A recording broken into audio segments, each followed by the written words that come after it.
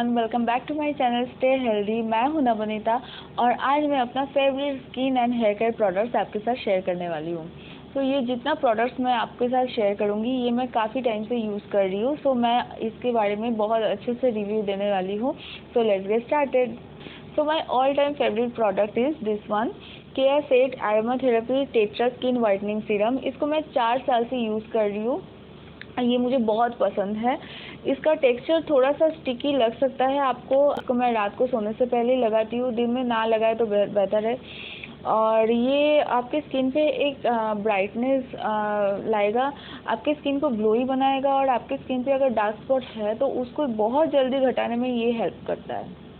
तो ये मुझे बहुत पसंद है। नेक्स्ट इज़ सेवोआ शैम्पू ये हंड्रेड एम का बॉटल है और इसका प्राइस है टू हंड्रेड इलेवन और ये बहुत अच्छे से हेयर फॉल कंट्रोल करता है। इसको मैं तीन साल से यूज़ कर रही हूँ। और इसका यूज़ करने का प्रोसेस ये है, आप बालों में इसको लगा के छः से दस मिनट आप रखिए, उसके बाद आप वॉश कर लीजिए।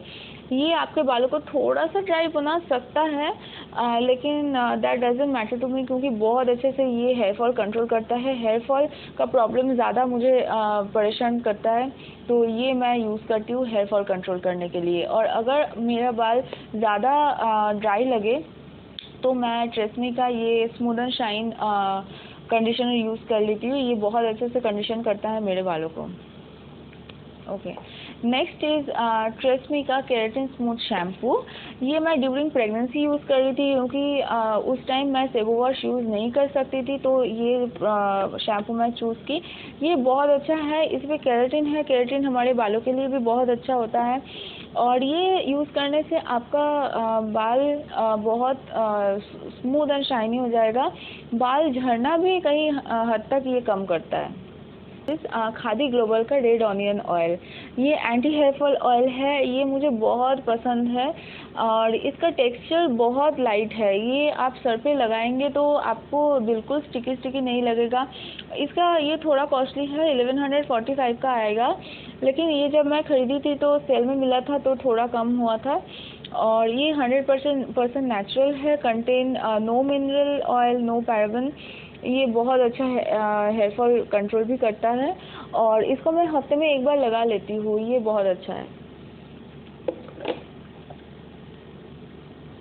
Next is wow skin science का एलोवेरा जेल ये आप लोगों ने बहुत जगह पे देखे होंगे, ये मुझे बहुत पसंद है, ये एलोवेरा जेल ये सीरियसली काम करता है। जेल ये 99 परसेंट प्योर एलोवेरा है no paraben silicone mineral oil colour synthetic fragrance इसमें बिल्कुल भी कोई भी फ्रेगनेंस नहीं है। ये बहुत अच्छा है। इस, इसको भी मैं बालों के लिए यूज़ करती हूँ।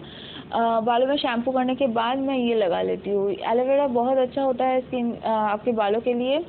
तो मैं एलोवेरा की जगह ये यूज़ करती हूँ, ये एलोवेरा जेल और इसका प्राइस है two ninety nine next favourite product is positive life science का दिस टी ट्री ऑयल इसका पैकेजिंग बहुत क्यूट है। ऊपर लिखा हुआ है आई एम होम हनी और ये ऐसे आता है।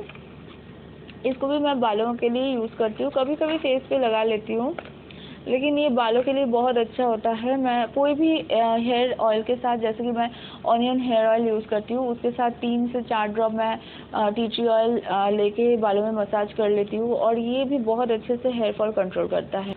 इसका फ्रेगनेंस थोड़ा सा स्ट्रॉन्ग है तो इसके लिए थोड़ा सा आपको इरिटेशन हो सकता है, लेकिन ज़्यादा देर तक इसका फ्रेगनेंस नहीं रहता है तो ये इसका बेनिफिट है।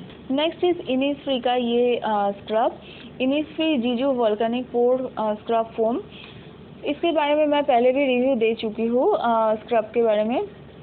और इसका टेक्सचर बहुत थीन एंड फाइन है तो ये आपके फेस पे बिल्कुल प्रेशर क्रिएट नहीं करेगा। और स्पेशली एक्ने प्रोन स्किन के लिए ये परफेक्ट है। इसको मैं फ़िलहाल तीन चार महीने से यूज़ कर रही हूँ। और इसका प्राइस है फाइव हंड्रेड समथिंग मैं डिस्क्रिप्शन बॉक्स में सारा लिंक दे दूँगी। Next product is sapphire naturals का आ, ये cleansing milk cucumber cleansing milk है। ये बहुत अच्छा लगता है मुझे। ये कहीं भी मैं कैरी करती हूँ। वन सेवेंटी रुपीज़ का है और हंड्रेड एम का बॉटल है। इस, ये बहुत जल्दी मेकअप रिमूव कर देता है और इसका फ्रेगनेंस मुझे बहुत अच्छा लगता है। ओके गाइस तो ये रहा मेरा favourite skin and hair care products तो आई होप कि आपको वीडियो अच्छा लगे। और अगर अच्छा लगेगा तो मेरा वीडियो लाइक ज़रूर करना और मेरे चैनल को सब्सक्राइब ज़रूर करना। तो आज के लिए बाय बाय स्टे हेल्दी